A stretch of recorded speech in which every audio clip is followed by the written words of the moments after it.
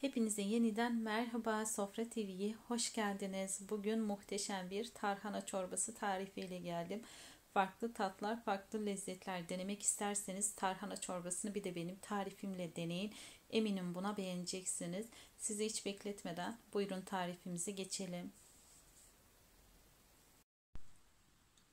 Bunun için gerekli olan malzemelerimiz 5 yemek kaşığı tarhanamız var. 1 su bardağı tavuk suyumuz var.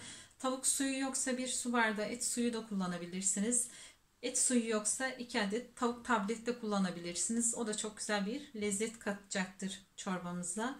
Bir yemek kaşığı domates salçası, bir çay kaşığı pul biber, bir çay kaşığı karabiber, bir çay kaşığı e, nane, 2 adet de e, rendeden geçirmiş olduğumuz sarımsağımız var. Buyurun çorbamızı yapmaya geçelim.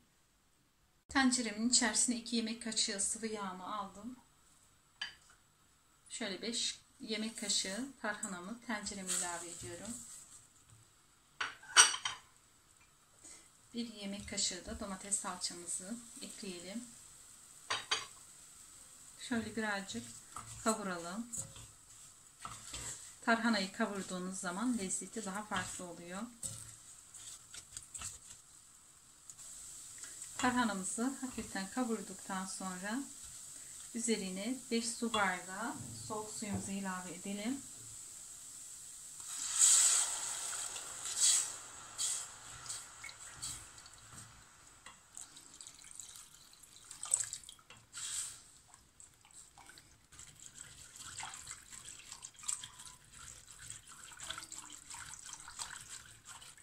Ben tarhanayı bu şekilde gerçekten çok seviyorum. Bu şekilde kavurduğunuz zaman törpülenme falan olmuyor. Çorbamız pürüzsüz bir kıvam alacaktır.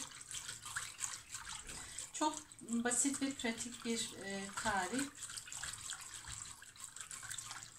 Ve çok da sağlıklı bir çorba tarifi.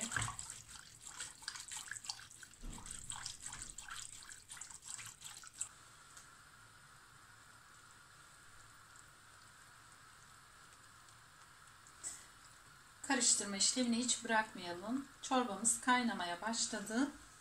Şöyle gördüğünüz gibi bir su bardağı tavuk suyumuzu da ilave edelim.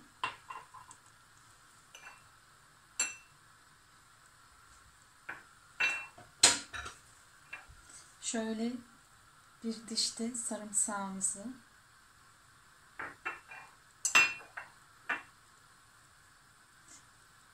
karabiber ve baharatlarımızı da ilave edelim. Baharatlarımızı ekledikten sonra güzelce karıştıralım. 5-6 dakika kaynamaya bırakalım. Eğer kıvamını daha çok koyu istiyorsanız arkadaşlar suyun miktarını azaltıp çoğaltabilirsiniz. Bu şekilde çorbanın kıvamı gayet güzel oldu. 5-6 dakika kaynadıktan sonra da altını kapatacağız. Tabii ki siz sulu seviyorsanız bir su bardağı daha fazladan koyabilirsiniz. Bizim damak zevkimize göre e, çorbanın kıvamı gayet güzel oldu. Bu şekilde kapağını şöyle hafiften e, bırakalım ki taşmam olmasın. Evet arkadaşlar kısık ayarda gayet güzel çorbamız pişti. Ocağımın altını kapatıp servisi hazırlayacağım. Şimdiden deneyecek olan herkese afiyet olsun arkadaşlar. Lütfen desteklerinizi esirgemeyin. Kanalıma ücretsiz bir şekilde abone olup bildirimleri açarsanız çok mutlu olurum. Çorbamı beğendiyseniz beğen butonuna basmayı unutmayalım. Farklı yemeklerde, farklı tatlarda görüşmek dileğiyle. Kendinize dikkat edin. Allah'a emanet olun. Hoşçakalın.